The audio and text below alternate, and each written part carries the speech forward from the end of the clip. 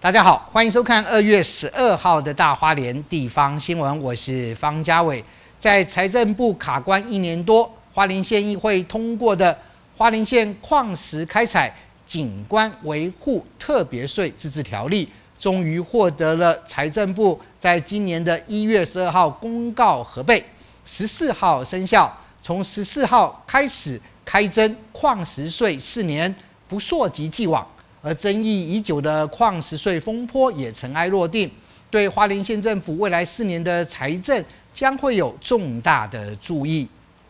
原矿石税条例二零二一年七月三十号到期，惠政府送审遭卡关，八月重送审，在因涉及税额与司法性争议遭退回，一直到十月二十二号通过，花莲政府随即送到财政部核备。迟迟无下文，直到一百一十二年一月十二号开始公告准予备查。统计自二零二一年八月一号开始到二零二三年一月三十一号为止，共计一年五个月十三天，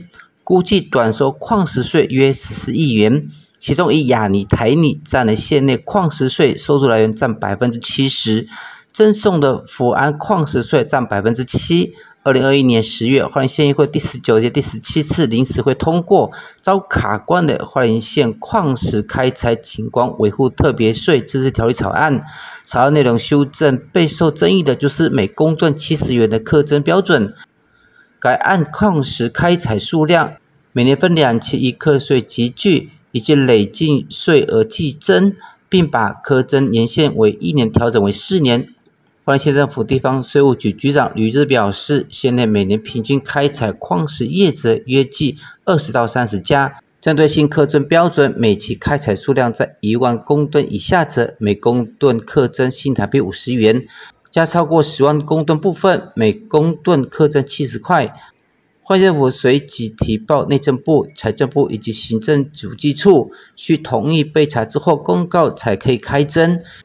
按照新版本，集聚开征将比昔日每年九亿多元少征收两千到三千万元，主要差距在小型采矿的业者。记者专黄色报道。